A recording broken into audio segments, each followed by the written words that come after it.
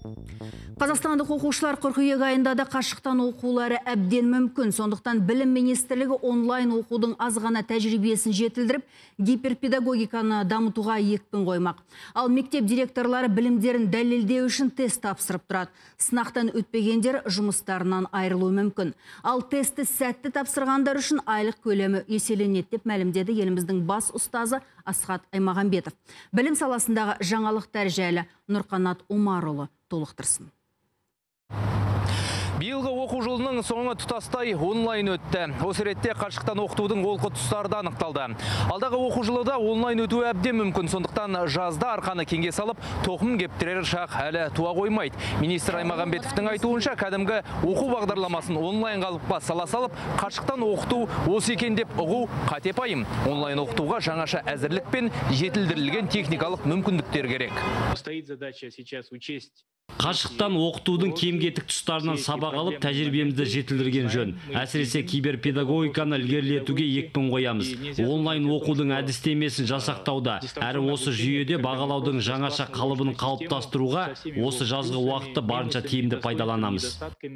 Министр сондай-ақ еліміздің білім саласындағы тағы бір мәселенің ұшығын көтеріп отыр. Ол мектеп директорларының жалақысы.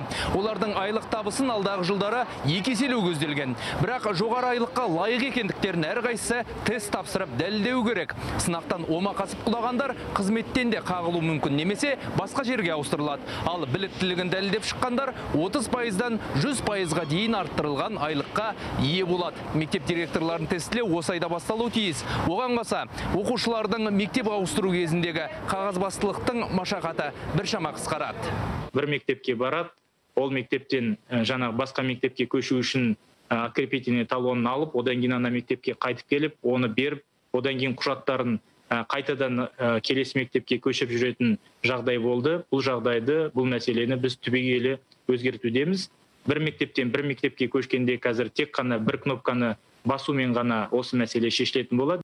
Сондай-ақ білім және ғылым министрлігі жоғарғы оқу орындарынан оқытушылардың жалақысын арттыруды талап етіп отыр. Себебі көптеген білім ордаларының мамандары 70-80 мың ғана болатын нәпақаны қанағат қылып келеді екен.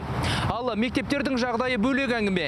Ресми статистикаға сенсек елімізде 54 мектеп апатты жағдайда тұр. Тағы 183 мектепте балалар үш ауысыммен оқиды. Сондай-ақ 168 мың оқушыға орын жетіспейді. Яғни осынша бала сынып парталарында тығылысып, үшеулеп отырып оқып жүр.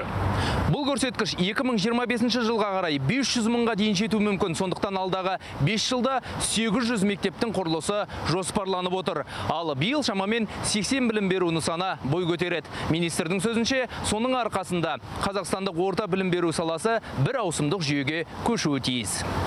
Нұрғанат Омарұлы, Роман Расулов, КТК.